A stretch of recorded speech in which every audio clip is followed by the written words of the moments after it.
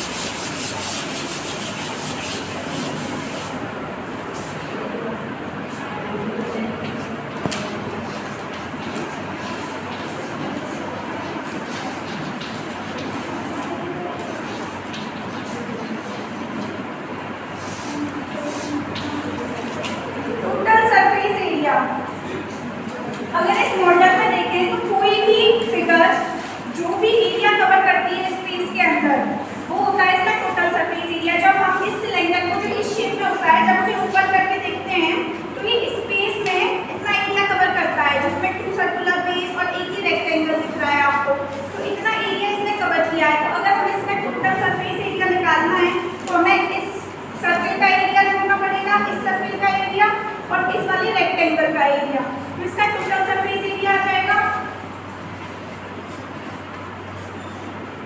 तो ये जैसे हमारे पास ये सिलेंडर है।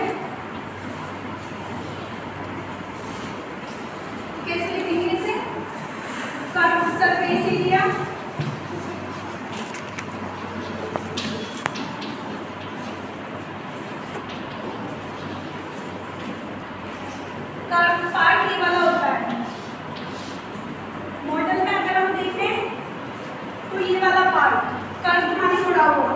ये वाला पार्ट जब ये मुड़ जाएगा तो ये हो गया कर्व पार्ट इसका ये plus area of two circular bases इनका भी एरिया प्लस होगा तभी टोटल सरफेस एरिया आएगा।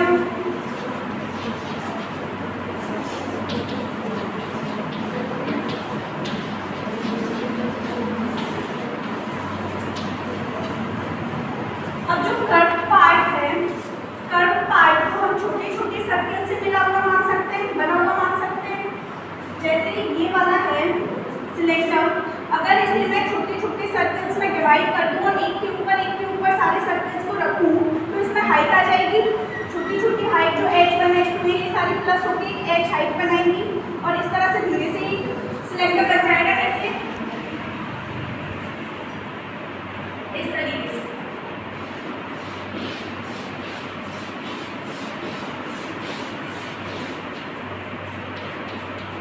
अगर आप इसे देखेंगे तो ये आपको एक सिलेंडर शेप में लगेगा, जिसमें सारी सर्कल्स रखे हुए हैं, एक के ऊपर एक। तो जब हम यहाँ पर कर्व सरफेस एरिया निकाल रहे हैं तो हम जो सर्किल होता है सर्किल की कैलकुलेटर क्या होती है? ऊपर या? और जब उसमें हाइट भी इंक्लूड हो गई तो हाइट का भी मल्टीप्लाई कर देंगे तो ये हो जाएगा to pi are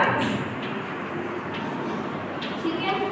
Plus area of two circular bases इसमें तो सर्कल का एरिया आ जाएगा तो एक सर्कल का एरिया पाई आर स्क्वायर और नीचे वाले का भी पाई आर स्क्वायर होगा क्योंकि रेडियस सेम है दोनों की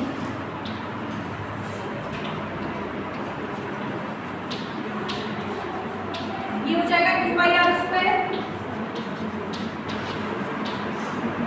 इसमें से टू पाई आर कॉमन आ रहा है एच प्लस आर तो ये हो गया total surface area of cylinder two pi r into h plus r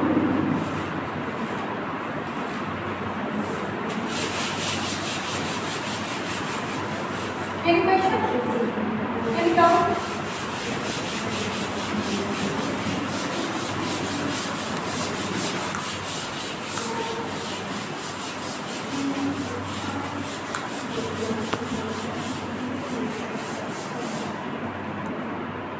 इसके बाद हम देखेंगे वॉल्यूम